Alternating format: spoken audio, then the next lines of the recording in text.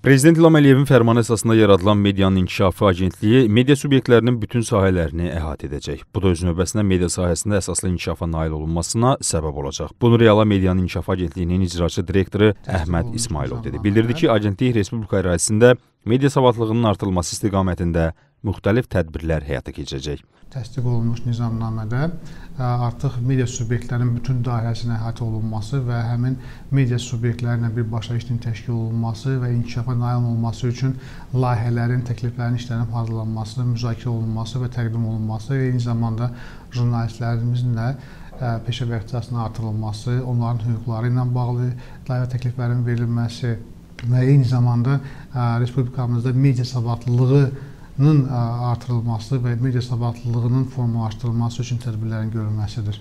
Və bu bütün bu qeyd etdiklərimiz artıq belə bir islahatlara başlanılmasının üçün bir zəruri amilə çevrilmişdir. Agentlik tərəfindən media subyektlərində çalışanların peşə ixtisaslarının artırılması üçün müxtəlif kurslar həyata keçiriləcək. Bu kurslar media sahəsində çalışan jurnalistlərlə bərabər texniki heyəti də əhatə eləyəcək. Media subyektində təkcə işləyən jurnalistlərin deyil, eyni zamanda media subyektlərində çalışan digər əməkdaşların da peşə və ixtisasının artırılması üzrə işlərin görülməsi və tədbirlərin həyata keçirilməsi bizim agentliyin fəaliyyət sferasına daxildir. Belə ki, istəyir çap mediası olsun, istəyir audiovizual media olsun, istəyir onlayn media olsun, orada çalışan texniki heyətdən tutmuş, jurnalistinə qədər, redaktora qədər, hətta direktor varsa, idarəçi bir direktor varsa, bunun biznes idarəçiliyi həyata keçirirsə, onlara qədər bizim təlim və seminarların keçirilməsi və onlara dəstək göstərilməsi üçün layihələrin hazırlanması bizim agentliyin fəaliyyət sferasına daxildir.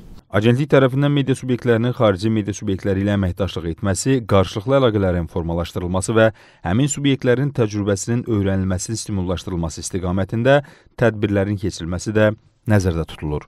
Özümüzün monitorinqini həyata keçirmişik və bizim üçün konkret olaraq sahələri müəyyən etmişik. Hansı sahələrdə bizə treninq və seminarlar lazımdır, onu müəyyən etmişik və bu sahələrin də siyahısının genişləndirilməsi artıq media subyektlərinin rəhbərləri və jurnalistlərlə müzakirədə bəlli olacaqdır və bu siyahı tam formalaşdıqdan sonra həmin siyahıya uyğun istiqamətlər götürüləcəkdir. Hansı hansı xarici media subyektləri və yaxud da hansı xarici dövlətlərdəki bizim partnyorlarla əməkdaşlıq istiqamətləri. Hazırda mövcud olan Türkiyə Cümhuriyyəti və Azərbaycan Respublikası arasındakı media platformasında bizim fəaliyyət istiqamətlərimiz çox geniş ola bilər və bu media platforması nəzərdə tutulub və artıq biz bu istiqamətdə işlər görmüşük və Türkiyə Türkiyədən olan bizim mütəxəssislər, media sahəsində mütəxəssislər artıq bir, bir neçə treninqlər Azərbaycan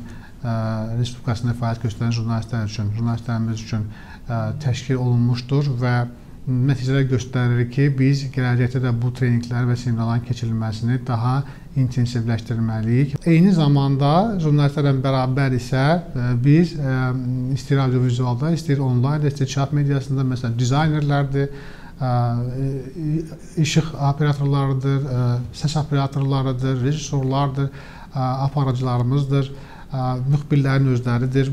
Bu kateqoriyada olan insanlar üçün də ayrı-ayrılıqda hər istiqamət üzrə tədbirlərin keçirilməsini nəzərdə tuturuq və burada sözsüz ki, həm dil bacarıqları məsələsi var və çünki bu treninqlərin keçirilməsində bu vacib amildir və bu istiqamətdə işlər görülərkən həm də eyni zamanda hazırlıq səviyyəsi də nəzərə alınacaqdır və biz hamının bizim mediada çalışan bütün həmkarlarımızın birlikdə bir müstəvidə daha da daha da inkişaf etməsi, daha da peşəkarlığın artırılması istiqamətində işlər görməliyik. Qeyd edək ki, Media Agentliyi tərəfindən dövlət orqanları ilə media subyektləri arasında əməkdaşlığın genişləndirilməsi, dövlət orqanlarının media subyektləri ilə əlaqələrinin təkmilləşdirilməsi və qarşılıqlı etimadın artırılması ilə əlaqədar tədbirlər də həyata keçiriləcək.